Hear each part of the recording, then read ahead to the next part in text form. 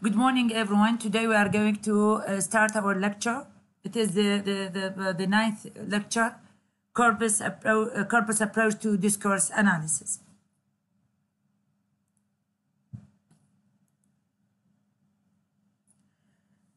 Mm, There are a number of advantages actually in using corpora to look at the use of language from a discursive perspective.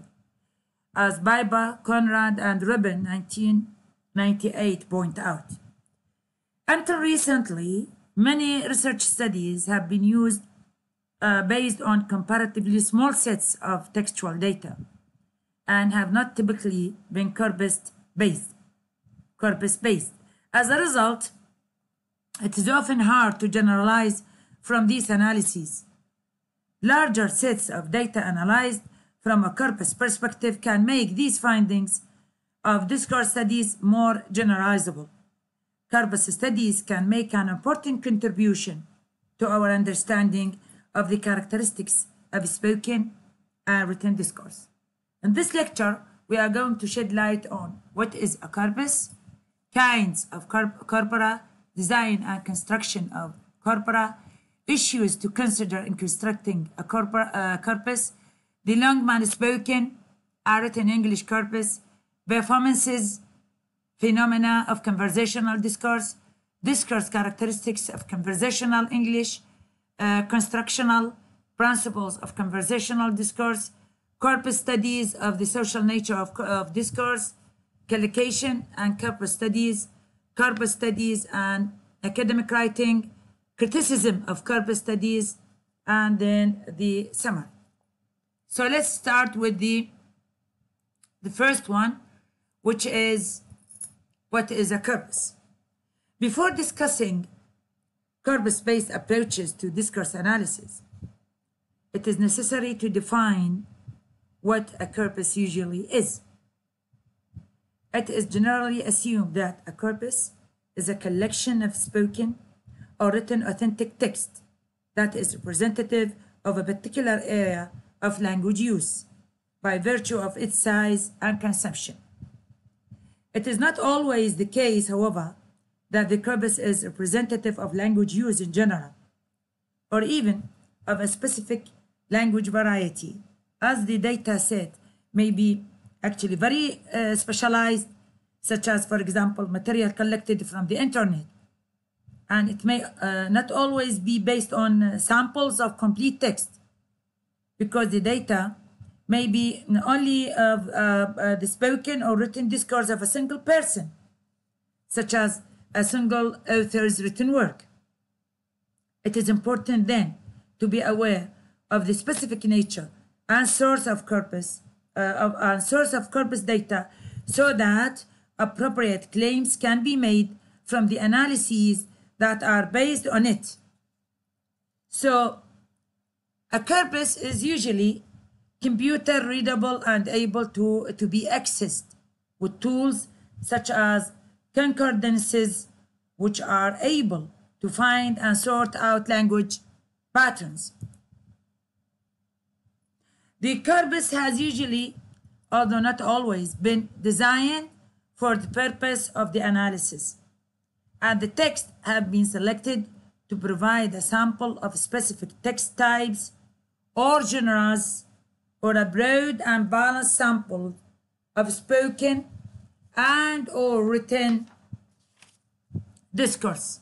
This is, of course, according to Stubbs. Stubbs, and I'm going to read the quotation he mentions.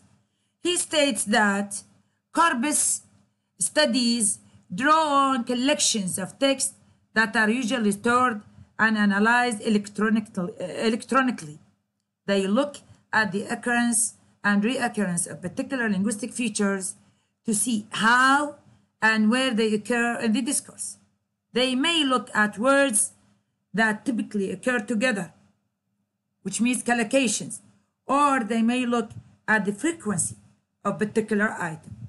Corpus studies may look at language use in general, or they may look at the use of a particular linguistic feature in a particular domain, such as spoken academic discourse, or use of the item in a particular genre, such as university uh, tutorial discussions. Still, this is a quotation taken from Stubbs 2004. Now we are going to move to the uh, second type, which is kinds of corpora. We have two types of corpora, uh, general corpora and specified corpora. And the most important one is the specialized or specified corpora. General corpora, corpora may be general or they may, uh, may be specialized as I uh, mentioned. A general corpus always known as a reference corpus. So general always uh, known as a reference corpus. Uh, this is a quotation taken from uh, Reppen and Simpson 2004. General corpora aims, uh, general corpus aims to represent language in its broadest sense and to serve as a widely available resource for baseline or comparative studies of general linguistic features. So our use of a general corpus, for example, might be to examine words that collocate with girl and lady in English in general, as opposite to words they collocate in particular domain of use, such as online personal ads. A further use of a general corpus might be to see to what extent hedges such as, for example, sort of and kind of are typical of English in general, as compared with what words these hedges typically collocate with, within, uh, within spoken academic discourse. So a general corpus thus provides sample data from, from, uh, from which we can make uh, generalizations about spoken and written discourse as a whole, and frequencies of occurrence and co-occurrence of particular aspects of language in discourse. So it will not, however, tell us about the language and discourse of, uh, of, uh, of particular genres or domain of use, unless the corpus can be broken down into separate genres or areas of use in some way. For this, uh, we need to another type of, of uh, genre in which it is a specialized corpora. Now we move to the uh, special uh, to to specialized corpora. Specialized corpora uh, corpus, as Hunston 2002 explains, is, and this is a quotation, a corpus of text of a particular type, such as newspaper editorials, geography textbooks, academic articles in a particular subject, or maybe lectures, casual conversations, uh, essays written by students, etc. It aims to be representative of a given type of text. It is used to investigate a particular type of language. Here, the, the quotation is ended. Uh, specialized corpora are required when the research questions relates to the use of spoken and or written. So it deals with spoken or written discourse in a particular kinds of text or in a particular situation. So a specialized corpus might be used, for example, to uh, examine the change in topic in an academic presentation. It might also look at an aspect of students' academic writing discourse and compare this with, uh, with use of the same features in published academic writing.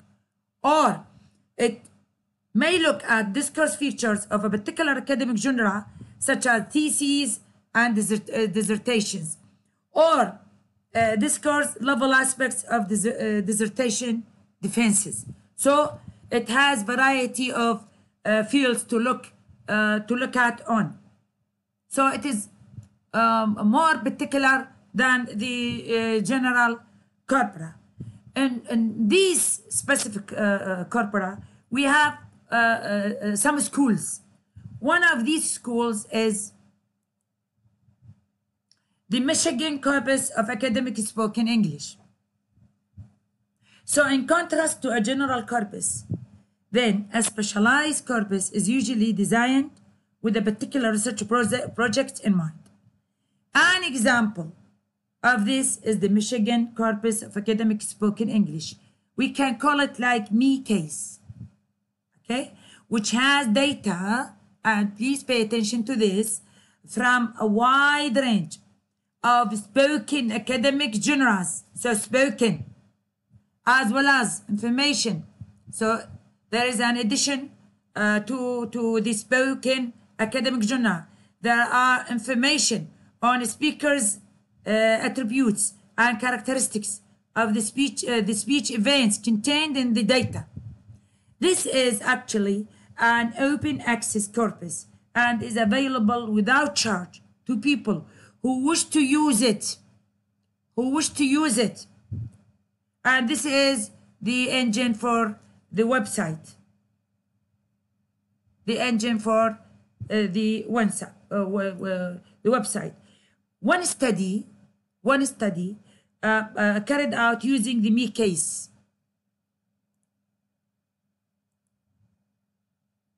Okay, so one study carried out using the MICASE corpus was an investigation of the uses of hedges such as sort of, sorta, and kind of, kinda, in spoken academic discourse.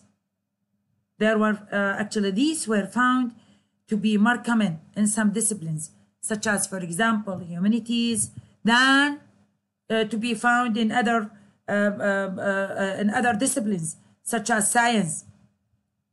Other MICASE in which it is Michigan, Michigan Corpus of Academic Spoken English, uh, have examined, examined the ways in which new episodes are flagged in academic lectures and also group discussions by the use of framework markers such as OK, so, and now. This is according to uh, Swales 2001. As well as other aspects, other aspects of spoken academic discourse, such as, for example, uh, hedging in the discourse of academic lectures. Now, uh, I have this, uh, I'm going to read um, uh, a conversation uh, uh, quoted from uh, Mauranen 2001. And please pay attention to, way, to the way I'm going to read this quotation. Okay, okay. Um, uh, let me get into sort of the more serious stuff. And uh, um, uh, what I'm uh, hoping to do with the remainder of uh, of uh, of this first hour is just give you some a bit of perspective, show where biology fits into um, sort of the rest of your education and hopefully I uh, I uh, I can um, begin this framework with uh, we are uh, gonna fall in uh, in uh, the rest of the of the term. So I I I have entitled this lecture philosophy of science, or at least that is the point I'm talking about now. The stopping and hesitations and the usage of hedging uh, such as uh, I, I, I, so, so, so. Um, um, um, this is not mine. These are included in the quotation taken from uh, Mauranen 2001, page 174. So findings from Mickey's projects have been, uh, of course, I'm going to say Mickey's instead of uh, saying Michigan Corpus of Academic uh, Spoken English. So I'm going to say it as one word, Mickey's uh, uh, so the findings taken from Mickey's projects have been integrated into training courses for international teaching uh, assistant and for the teaching of oral presentations. The Mickey's data has uh, also been used in the development of English language test. Uh, test.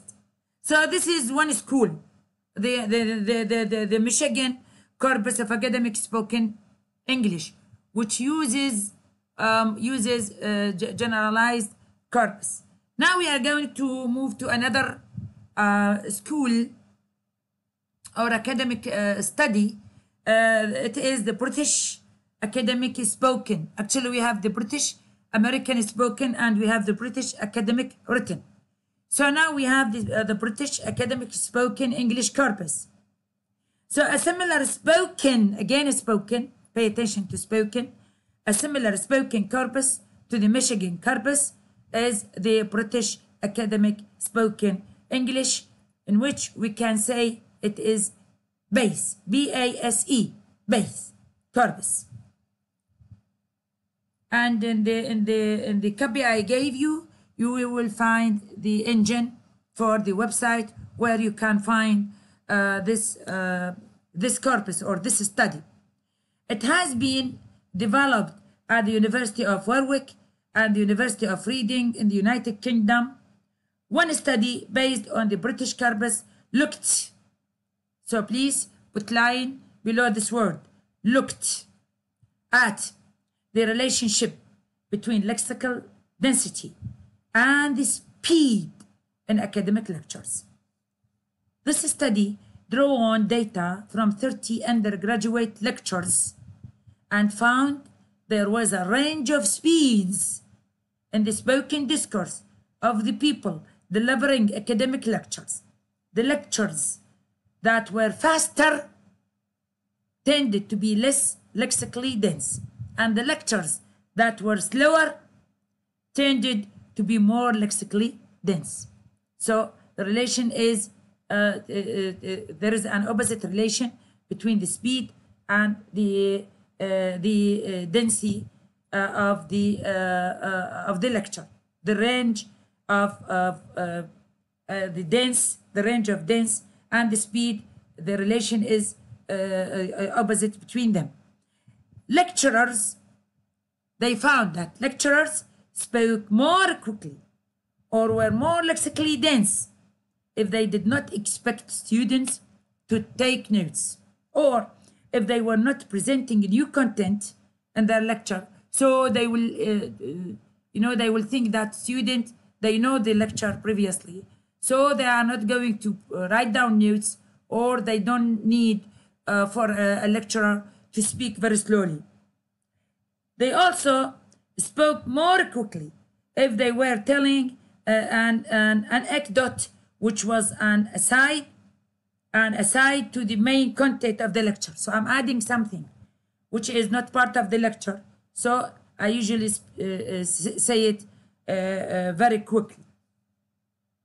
Observations of this kind then have important implication for the development of English for academic purposes uh, courses which aim to prepare students to study in English medium universities. So this is the second school. The third school is the British Academic Written. Now it is written English corpus. Specialized corpora may also be based on written discourse alone. Written. So now it is written. An example of this is the British Academic Written English or BAWE corpus. I, I, I say it like this. It is actually B-A-W-E corpus. Developed at the University of Warwick uh, and the University of, of Reading and Oxford, uh, Oxford Brookes University in the United Kingdom.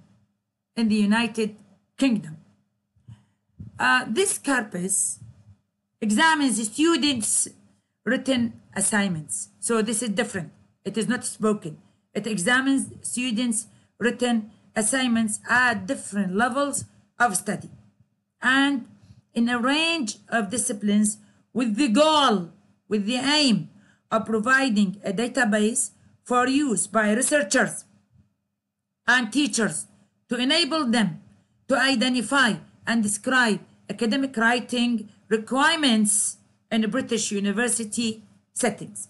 So the BAWE corpus includes contextual information. So there should be, beside the, uh, the assignments, the, there should be uh, contextual information on the students' writing, such as the gender and the year of the study of the students, also details of the course the assignment was set uh, the assignment was set for and and also the grade that was uh, awarded uh, to the piece of work so as to be able to consider the relationship between these variable, uh, variables and uh, the nature of the student's written academic discourse. so this is this pay attention more to the, the written uh, assignments, the students' written assignments beside other information. So this pay attention to written rather than spoken. Now, there is a, a, third or a fourth school, uh, which is the TOEFL spoken and written academic uh, language corpus. a specialized corpus may include both spoken now and written discourse. So this is a mixture between uh, uh, spoken and written discourse. An example of a corpus which does this is the TOEFL 2000 spoken and written academic language corpus. This is a specialized corpus. This corpus aimed to provide a comprehensive linguistic description of spoken and written registers in USA universities, although not, in this case, examples of students, they are not examples of students writing. The TOEFL corpus was made up was made up of uh, uh, uh of 2.7 million words and aimed to present the spoken and academic genres that university students in the United States have to participate in or read, such as, for example, class sessions, office hour conversations, uh, study group discussions, on campus uh, uh, service uh, encounters, textbooks, reading packs, university uh, uh, catalogs, and brochures. So different journals. The corpus data, the corpus data was collected. So they are collected across actually four academic sites, four academic sites, each representing a different type of university. The first side, a teacher's college, and the other, a mid-sized regional university. The third, an urban research university, and final, uh, finally, a rural research university. the spoken data was mostly recorded, so the data was mostly recorded by uh, students, although academic and other uh, staff uh, recorded office hours material and also uh, surface, although they are they might encounters. The spoken and written classroom material focused on the disciplines of business, education, engineering, humanities, nature and social uh, sciences at lower and upper undergraduate and graduate levels of study. A key observation of the TOEFL study was that spoken genres in the USA university settings are fundamentally different from written genres. So spoken uh, are uh, the sp spoken genres are different from written genres. The study found, however, that classroom teaching in the United States was similar in many ways to conversational genres. It found that language use varied in the textbooks of different disciplines, but not, of course, in a classroom teaching in different disciplines. Now we will move to design and construction of corpora. There are thus a number of already established corpora that can be used for doing corpus-based discourse studies. I have to, to have uh, uh, uh, designs for, for uh, my corpora. So these contain data that can be used for asking uh, very many questions about the use of spoken and written discourse, both in general and in specific areas of use, such as academic writing or speaking. If, however, your interest is in, in, in what happens in a particular genre or in a particular genre in a setting for which there is no available data, then you will have to make up your own corpus for your study. Hyland's 2002 A study of the use of personal pronouns such as, for example, I, me, we, and us in Hong Kong's students' academic writing. Uh, we can consider it as, as an example of a corpus that was designed to answer a question about the use of discourse in a particular genre, in a particular setting.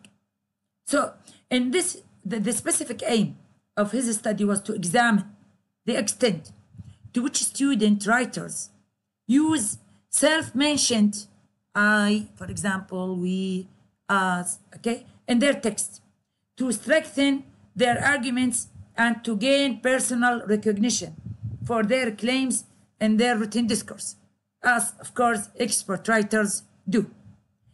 Uh, uh, Hyland's question was related to issues of discourse and identity. And the place of, of this, the place of this writing practice in a particular academic and social community. A corpus uh, collected uh, not in the same college. It is collected at another institution or maybe in another country would not have told him what student at his institution did. He was, however, uh, uh, able to use an exist existing corpus to compare his findings uh, with how how published academic writers use personal pronouns in their writing as a reference point for his study. Thus, by using his own custom-made corpus and by using an existing corpus, he uh, become able uh, to, uh, to compare the findings of his study with the practices of the broader academic community and he, he is able to make observations about the way the student position themselves in the, in the, in the discourse, in particular on the basis of this. And in the same vein, Harwood, 2005, uh, also compiled his own corpus for his study of the use of the personal pronouns I and we in, uh, in journal research articles. So for his study, Harwood selected research articles from uh, from uh, uh, area different from uh, his uh, colleagues' area. So he collected his articles from electronic versions of journals, as well as manually scanned articles, and and converted them to text formats. His analysis of his data was both uh, quantitative and qualitative. The quantitative analysis examined the frequency of writers' use of I and we in the text and the disciplines in which this occurred. The qualitative analysis examined the use of I and we from a functional perspective. So he used he used uh, uh, uh, actually two analyses, quantitative and qualitative.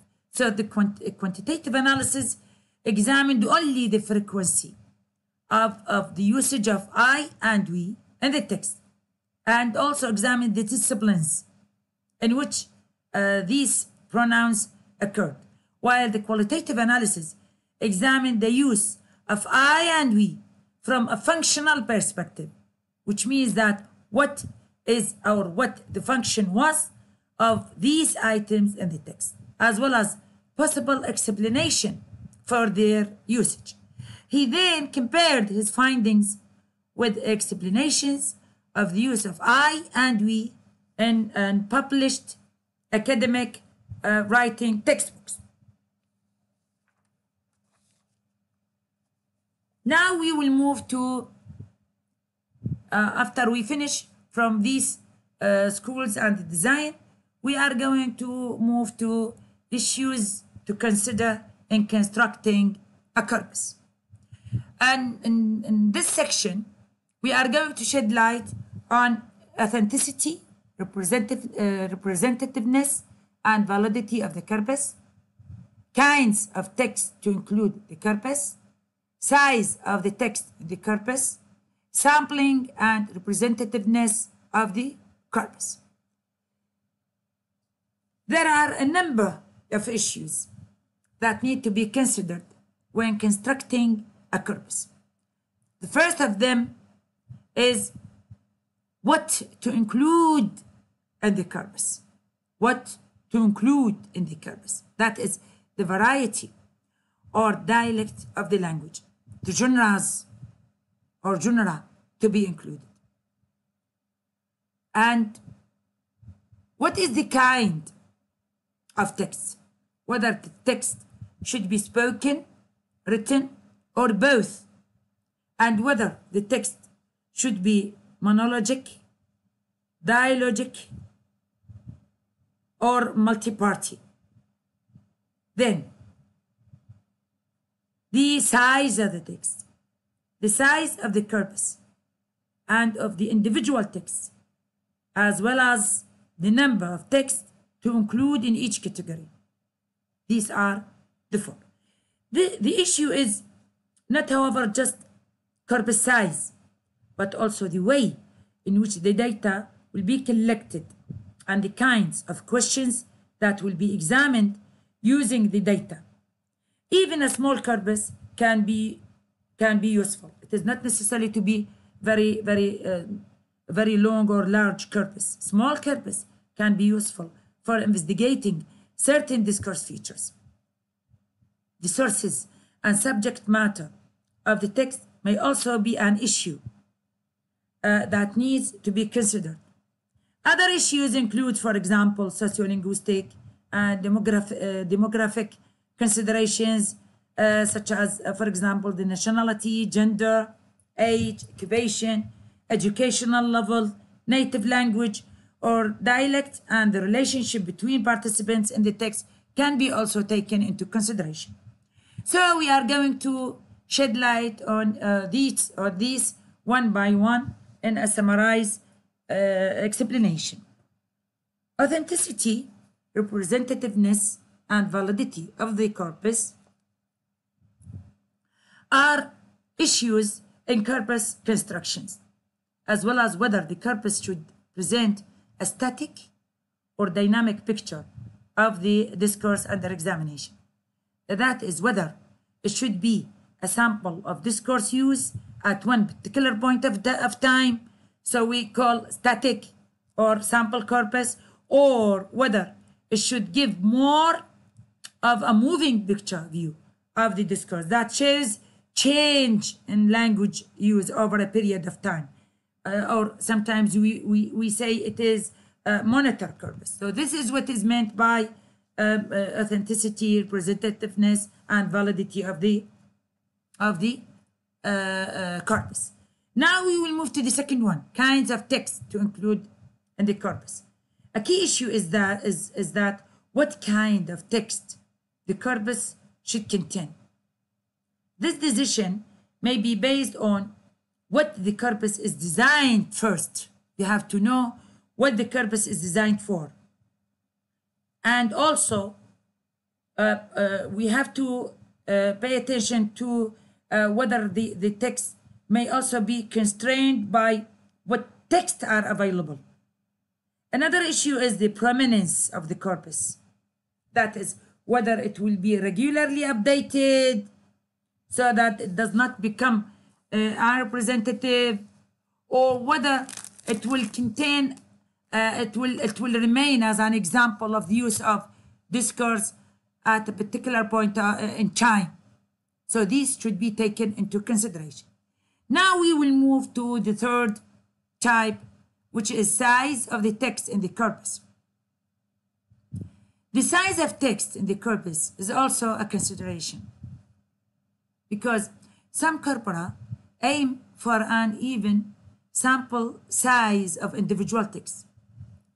So if, for example, the corpus aims to represent a particular genre and instances of the genre are typically long or short, this needs to be reflected in the collection of text that make up the corpus. So if you remember, some of you asked me, and they said when we when we try to analyze um, uh, a data in our paper or in our uh, uh, thesis or dissertation, and especially in the paper because you have limit uh, limit uh, range of papers, they said that they have or they found that the, the, if they analyze each and everything, then the analysis or the paper will be bulky. So I advised them to give me sample, sample of the analysis, and then separately, the researcher has to analyze each and everything, and then to collect the corpus in a table with columns, and to give me the number of uh, occurrences and the frequency and percentages.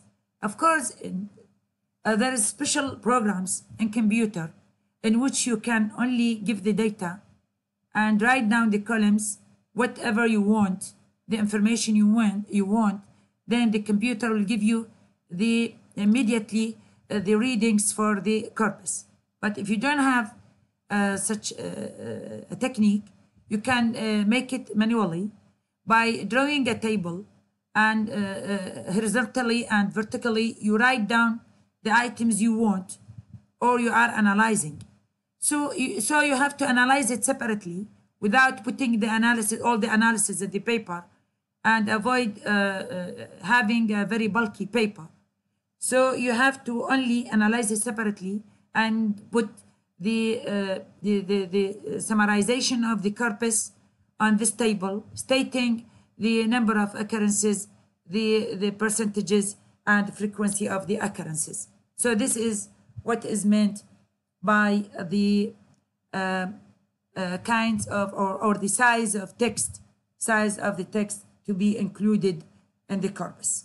Now we will move to the sampling and representativeness of the corpus. Sampling is also an issue in corpus design. So the key issue here is defining the target population. So you have to know what is the target population that the corpus is wishing to represent. Uh, Biber 1994 points out that while any selection of text is a sample, and I'm, I'm going to read uh, his words, so this is a quotation. He mentions that any selection of text is a sample whether or not a sample is representative.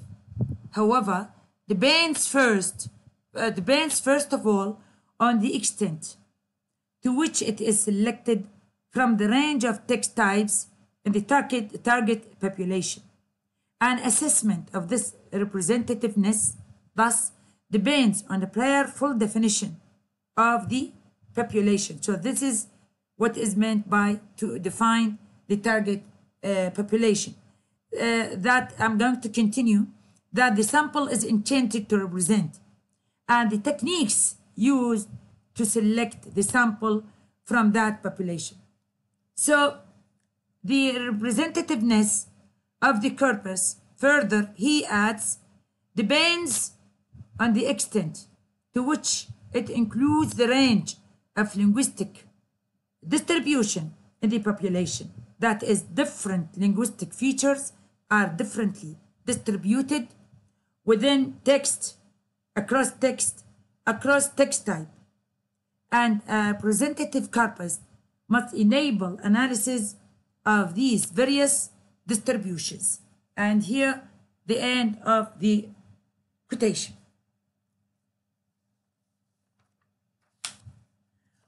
So we finish with the four issues and we are going to move to the Longman spoken and written English corpus. The Longman uh, spoken and written English, um, abbreviated as uh, LSWE, LSWE corpus, is an important example of a corpus study. The LSWE was used as the basis for the Longman grammar of spoken and written English. Please pay attention to this because this corpus will collect American, American and British, though it puts emphasis on the British conversation. But uh, this, uh, this design is going to, uh, uh to use the American conversation also for the sake of comparison. So the uh, LSWE was used as the basis for the Longman grammar of spoken and written English. The LSWE corpus is made up of 40 million words. 40 million, 40 million words representing four major discourse types. Four major discourse types. Conversation, fiction, news and academic news and academic prose.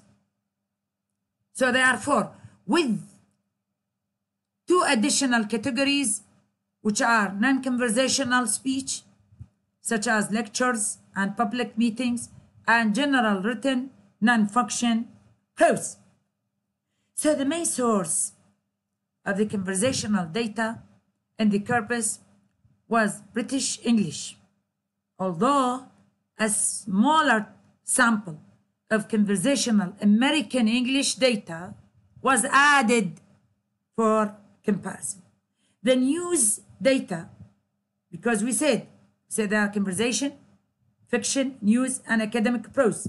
The news data contained an almost equivalent amount of a British English and American English data. The fiction sample draw on British English and American English. So please have attention to this. Pay attention. As did the academic prose also. The non here only, I want you to pay attention to this. The non-conversational speech was all British English data. And the general prose contained both British English and American English data. Because in non-conversational, we don't need to compare. So it contains only a British English. So the study was designed to contain about 5 million words of text in each discourse category. Most of the text in the corpus were produced after 1980. So uh, the sample is mostly of contemporary uh, British and American English usage. Okay, the corpus was made up of of uh, uh, 37,244 texts and approximately 40 million and 26,000 words. The texts in the corpus varied, however, in length. The newspaper text tended uh, to be the, the shortest, while fiction and academic prose were the longest because in newspaper they try to make uh, the text rather short while in, uh, in academic writing, uh, write, writing it is rather long. The LSWE corpus aimed to provide a representative sampling of text across the discourse types it contained. The conversational data in the corpus was uh, collected in real life settings and is uh, many times larger than most other collections of conversational data. Both the, uh, the British and American conversational data were collected from representative samples of the British and USA populations. The conversational data in the corpus aimed to represent a range of English speakers in terms of age, sex, social, and regional uh, groupings. Now we reach to performance phenomena, and um, uh, this section uh, we are going to uh, uh, explain it in the uh, in the next video because of the limit of the video. I don't want to extend the limit of the video. Thank you very much and goodbye.